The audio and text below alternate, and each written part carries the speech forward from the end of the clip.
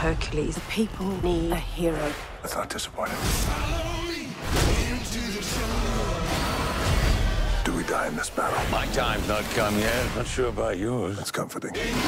Hercules. Rated PG 13, July 25th.